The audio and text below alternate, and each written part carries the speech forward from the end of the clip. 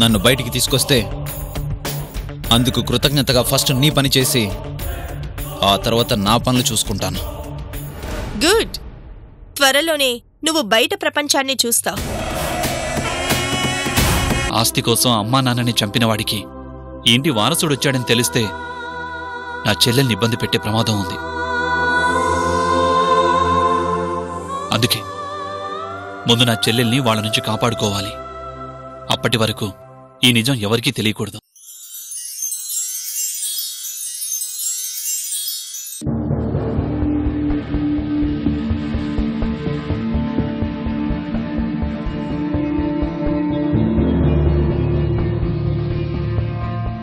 నమస్కారం. నమస్కారం. అమ్మా. పిలవగానే వచ్చినందుకు థ్యాంక్స్. అర్జెంటుగా మాట్లాడాలని రమ్మన్నారు. ఒక విషయంలో మీ హెల్ప్ కావాలి. ఏ విషయంలో మేడం? చెప్తాను. ఈ హెల్ప్ నాకు చాలా ముఖ్యమైంది. కుదరదు అన్న మాట మాత్రం చెప్పొద్దు. విషయం చెప్పకుండా ఎలా చెప్పగలవమ్మా? విషయం ఇది. ఉమ్,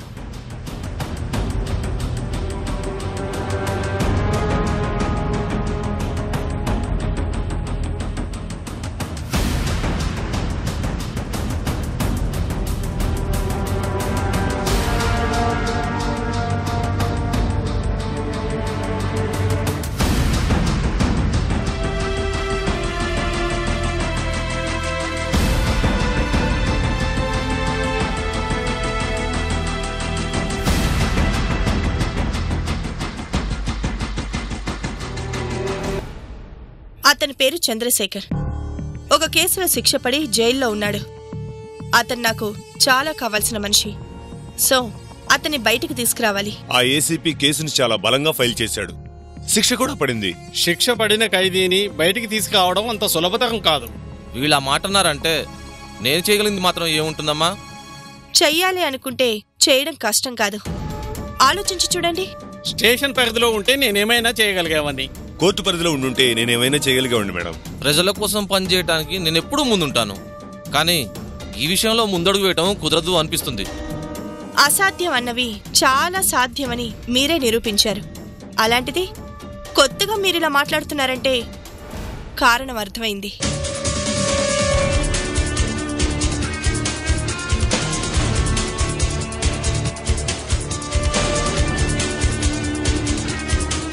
ఏ పరిధి అడ్డం వస్తుందో నాకు తెలుసు.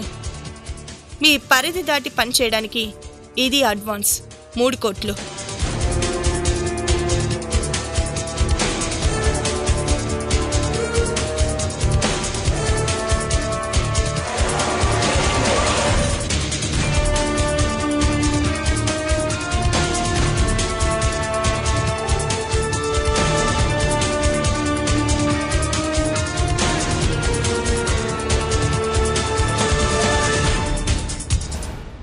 పని పూర్తయిన మరుక్షణం. మరో మూడు కోట్లు ఇస్తాను ఇప్పుడు చంద్రని బయటికి తీసుకురావడం కుదురుతుందా? ఎందుకు కుదరదండి? అతను ఏమైనా మర్డర్ చేశాడా? చేసినా సరే బయటికి తీసుకురావడానికే కదా నాలాంటి వాళ్ళు ఉన్నది. పరిచయాలున్నప్పుడు పరిదేముంటుంది మాట్లాడవలసిన వారితో మాట్లాడితే సరి.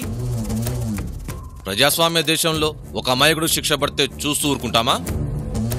ఇంకా నువ్వు ఈ విషయం మర్చిపోమ్మా అతన్ని బయటికి తీసుకొచ్చే బాధ్యత మాది.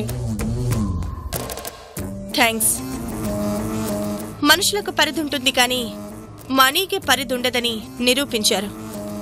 చంద్ర బయటకొచ్చాక కలుద్దాం.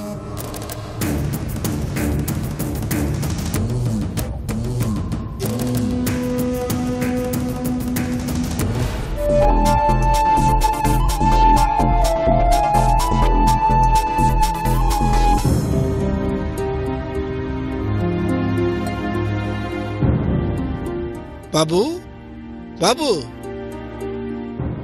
కాఫీ తీసుకోండి.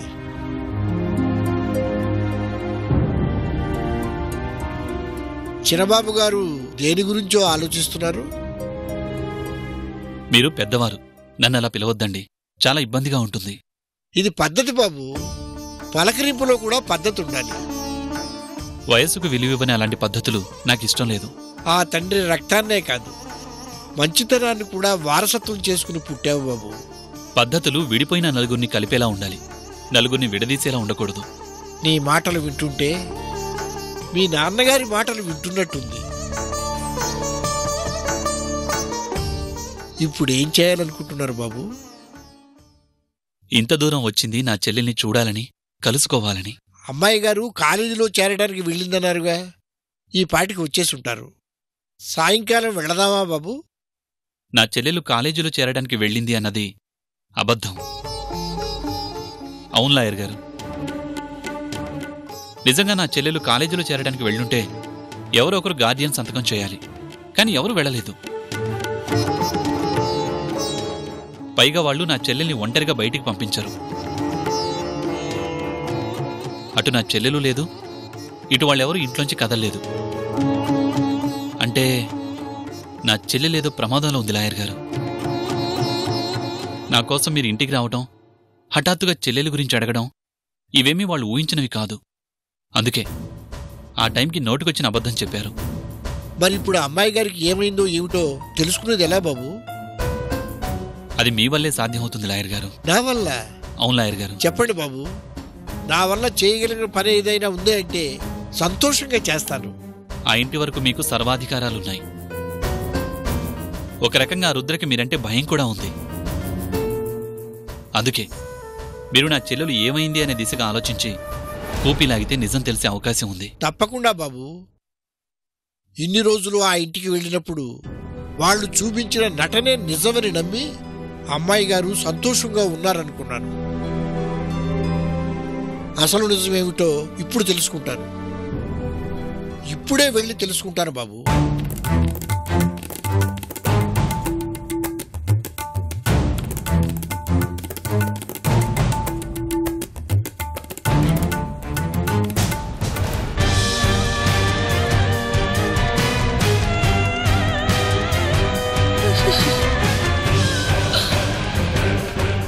ఎందుకురా మీరు?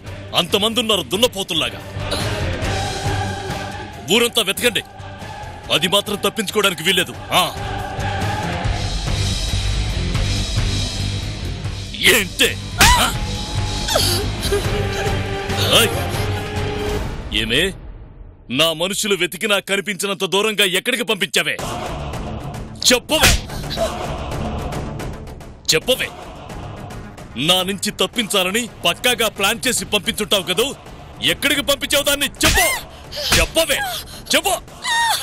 లేవే లే! చెప్పవే! చెప్పు! చెప్పవే! దాన్ని ఎక్కడికి పంపించావు? ఎక్కడికి పంపించవే? చెప్పవే!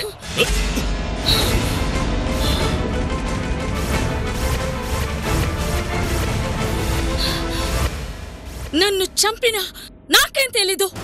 ఇల్లు దాటించాలనుకున్నాను దాటించేశాను. అదే ఎక్కడికి? అది ఇక్కడ కాకుండా ఎక్కడైనా సంతోషంగా ఉంటుంది. అందుకే రాక్షసుల్లాంటి మీకు దూరంగా మనుషుల మధ్యకి పంపించాను.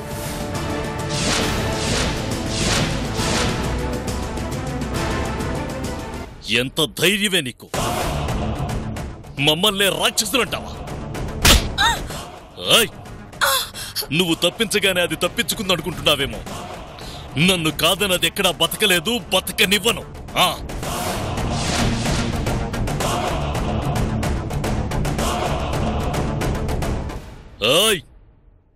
అది ఎక్కడున్నా సరే తీసుకొచ్చి నా కొడుకిచ్చి పెళ్ళి చేస్తా.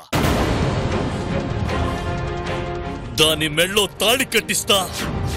ఈ ఆస్తి మొత్తం నా సొంతం చేసుకుంటా.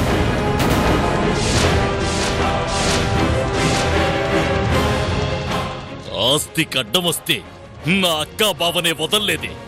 ఐదెంత? హ, అయినా ఇంతకాలం అందరి ముందు నా బంగారు తల్లి అని నటించింది. అది బంగారు గుడ్లు పొదికే బాతు కాబట్టి. దాన్ని నా ఇంటి కోడల్ని చేసుకుంటే ఆ గుడ్లన్నీ నా సొంతమవుతాయి కాబట్టి. అట్లాంటి దాన్ని? అట్లాంటి దాన్ని? నాకు తెలియకుండా ఇల్లు దాటిస్తావా?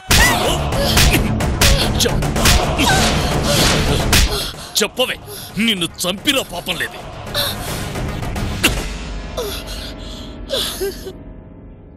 Ah!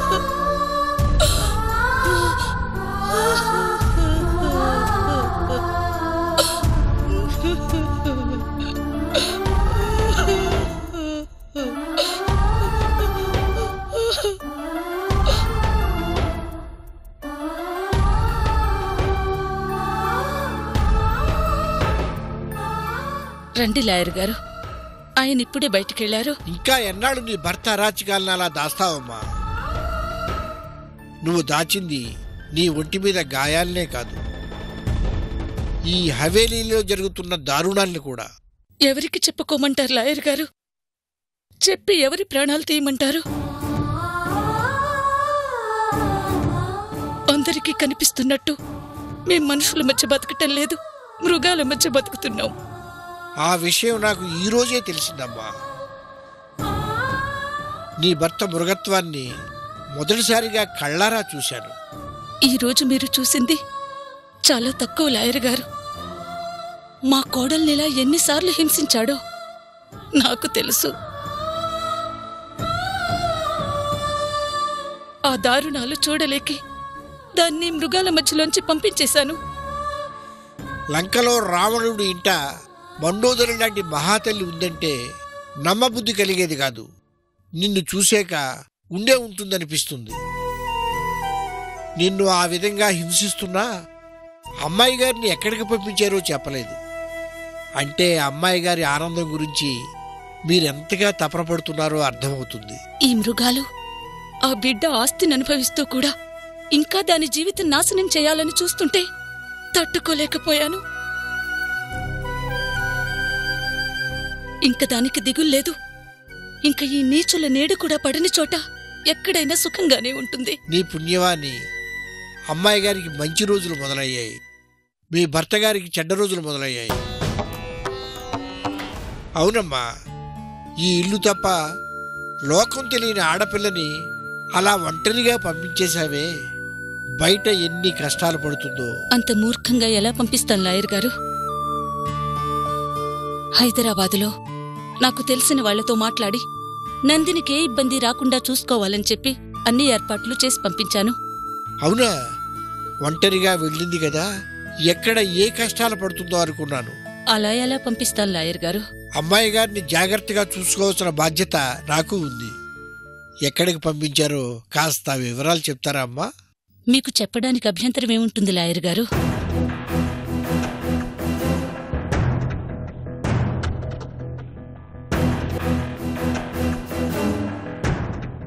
నందిని ఈ అడ్రస్లో ఉంది.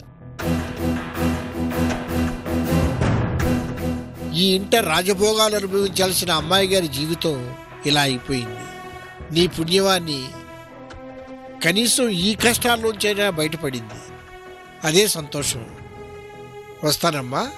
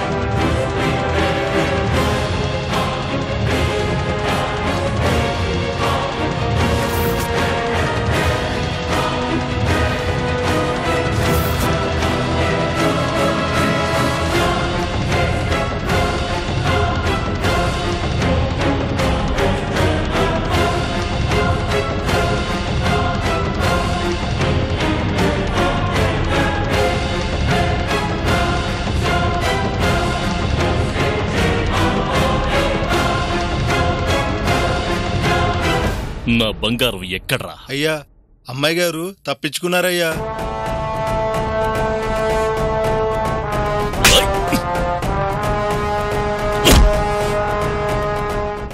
తప్పించుకుంది అమ్మాయి కాదురా. ఇన్నేళ్ళ నా ఆశ. దాని వెనకున్న కోట్ల రూపాయల ఆస్తి. మిమ్మల్నందరినీ పెంచి పోషిస్తున్నది నన్ను కాపాడతారని కాదు. అది నా నుంచి పారిపోకుండా కాపాడుతారని. చాలా ప్రయత్నించామయ్యా. దొరకలేదు. రాయ్! పది మందున్నారు. ఒక్క ఆడపిల్లను పట్టుకురాలేకపోయారు. ఎందుకురా మీరందరూ? అది కనిపించలేదంటే ఈ ఆస్తి నాకు దక్కదురా. ఈ ఆస్తి కోసం నా అక్కను చంపాను నా బావను చంపాను. ఏ రోజైనా అడ్డవేనని ఈ ఇంటి వారసుని కూడా చంపాను. దాన్ని నా ఇంటి కోడల్ని చేసుకుంటే ఆస్తంతా నాదే కదా అని దాన్నొక్కదాన్ని బతకనిచ్చా. అది తప్పించుకుంది. ఈ ఆస్తి నాది కావాలంటే అది నాకు కావాలి. దాన్ని వదిలేశారు కదరా.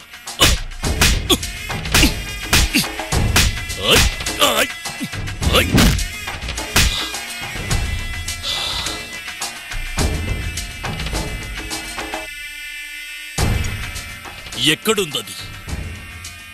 ఎక్కడికెళ్ళుంటుంది? ఎక్కడున్నావే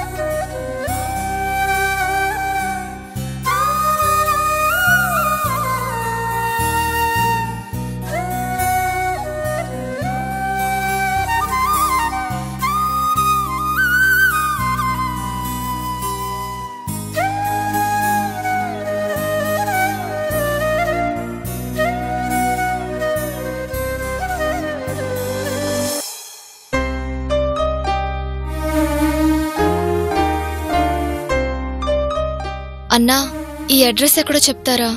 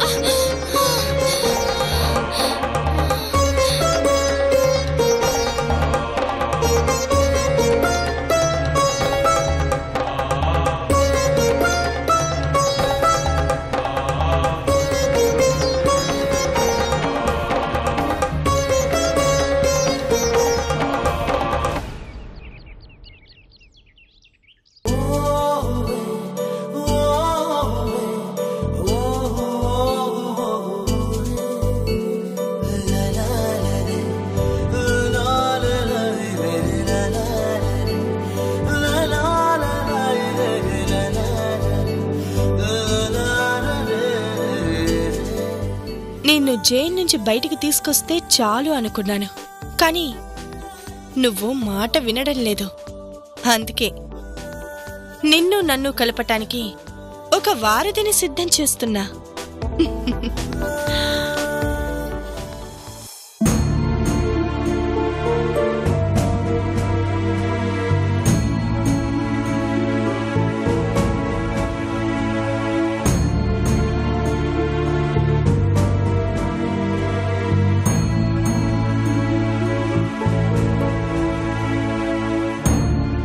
సావిత్రి ఏంటిలా హఠాత్తుగా వచ్చావు? కూర్చో కూర్చో. ఏం తీసుకుంటావు? Coffee tea? ఏం వద్దు. మొహమాట పడకు. నాకు చాలా కావలసిన మనిషివి నువ్వు. నీకు మర్యాద చేయడం అంటే నాకు నేను మర్యాద చేసుకోవటమే. చెప్పు చెప్పు. ఏం కావాలి? ఏం వద్దు ఊర్మిళ.